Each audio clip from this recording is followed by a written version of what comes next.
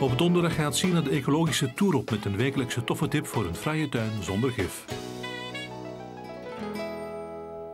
In de winter maken we al plannen voor de volgende lente in onze groentetuin.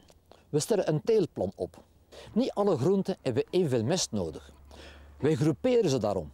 En ik maak een teelplan met verschillende percelen. Koolgewassen, heel veel mest nodig bijvoorbeeld. Wortelgewassen, geen bemesting. Aardappelen, veel bemesting. Peulvruchten, geen bemesting. Bladgewassen, al veel bemesting. Wortelgewassen, geen bemesting. De aardappelen terug, veel bemesting. En de peulvruchten met ook geen bemesting. Met zo'n teelplan kan je nog veel meer doen. Dat vind je in het boek van Veld, ook op onze website. En volgende week vertel ik er nog meer over.